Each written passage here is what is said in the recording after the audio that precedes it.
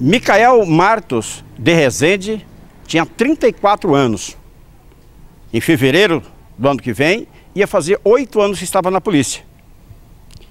E segundo as informações, por volta das 11 horas, estava na casa do amigo e deu um tiro na cabeça. Nós conversamos com o Tenente Henrique, aonde dá mais informações. Muito pesar que a gente forma, né? É um possível suicídio do soldado Micael.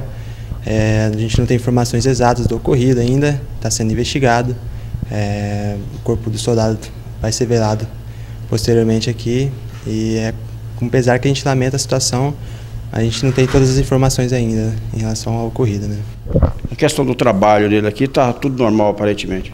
Sempre foi um ótimo, um ótimo policial, é um exemplo também para os demais companheiros, né?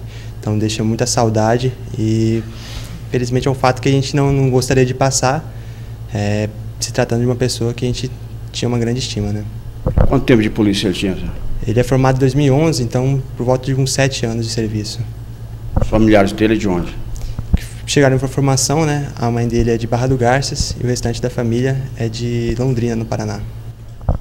Na, aqui na companhia, o Micael nunca teve problema? Não, pelo contrário, sempre foi um policial muito exemplar.